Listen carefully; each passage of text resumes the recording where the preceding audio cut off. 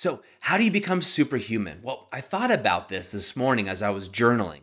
Now, here it is, 5 a.m., um, and my family's asleep, but I was journaling out there and I was thinking about how do you become superhuman? Like, what is it? Why do some people seem to excel and others don't? And then I, as soon as I thought that, I turned my head and I noticed a bent nail, a nail, a thick nail that was bent by David Whitley when I was in a conversation with him. So I'm talking to David Whitley. He pulls out this nail and bends it with his bare hands. Now, David wrote a book on called Superhuman You. It's a fantastic read and I highly recommend it.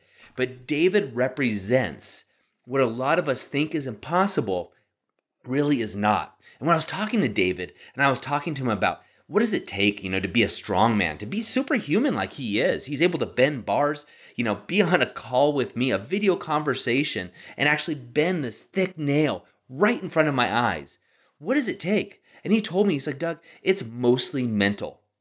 It's the mental game. There's a million strong men out there, but very few can do what David does. And the difference between David and the other people are not his biceps, aren't his physical strength. It's the space between his ears. It's his mental clarity and his ability to work on himself. And the fact that David is continually bettering himself just goes to show you that everybody can be superhuman and even superheroes are working on themselves. So today I'm going to ask you, in your 5 to thrive, what are some what's something that you feel might be impossible? What's something that feels just so out of reach that you just think, "Ah, I could never do that."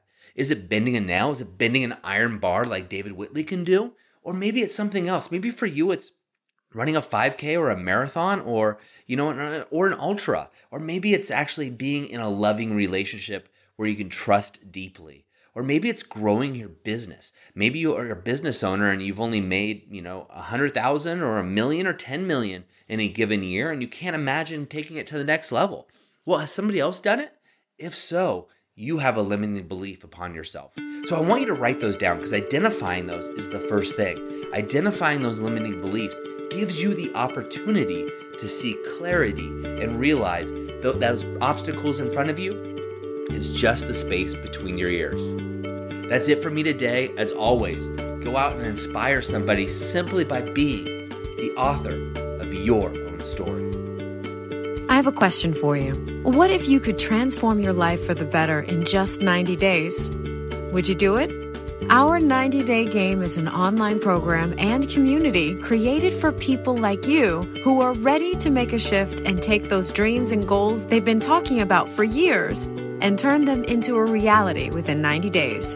Go to authorofyourownstory.com forward slash 90 dash day dash game and turn your goals into reality. And don't forget to be the author of your own story.